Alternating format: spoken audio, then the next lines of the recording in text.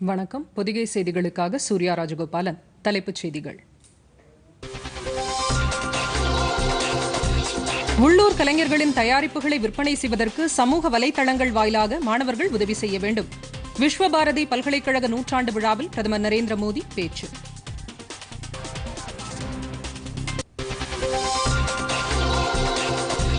முன்னாள் பிரதமர் வாஜ்பேயி பிறந்த நாளையொட்டி விவசாயிகளுக்கு பதினெட்டாயிரம் கோடி நிதியை விடுவித்து நாளை காணொலி காட்சி வாயிலாக கலந்துரையாடுகிறார் பிரதமர் நரேந்திர மோடி.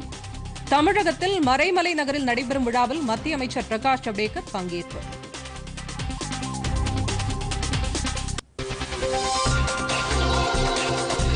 உலகில் உள்ள சவால்களை எதிர்கொள்ள தேவையான தொழில்நுட்பங்களை மற்ற நாடுகளுடன் இந்தியா பகிர்ந்து கொள்கிறது. மத்திய சுகாதாரத்துறை அமைச்சர் ஹர்ஷ்வர்தன்.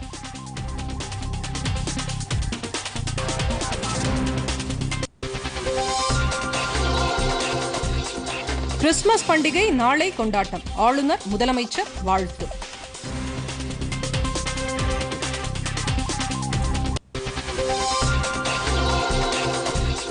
இந்திய கிரிக்கெட் வாரிய ஆண்டு பொதுக்கூட்டம். இரண்டாயிரத்தி இருபத்தி இரண்டாம் ஆண்டு ஐபிஎல் தொடரில் மேலும் இரண்டு அணிகளை சேர்க்க ஒப்புதல்.